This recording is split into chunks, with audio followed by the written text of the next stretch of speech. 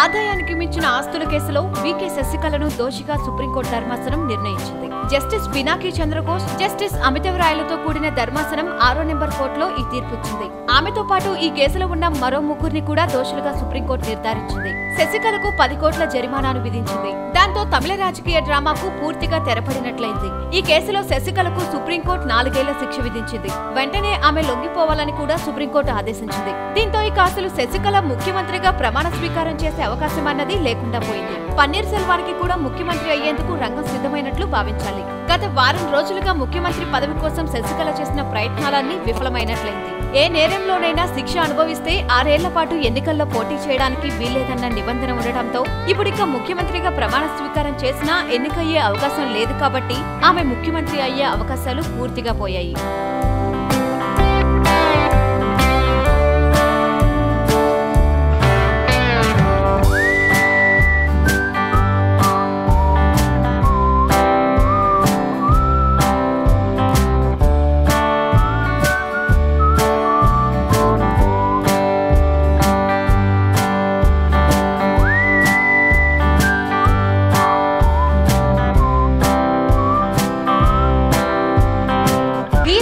Like కుదిరితే comment పెట్టండి.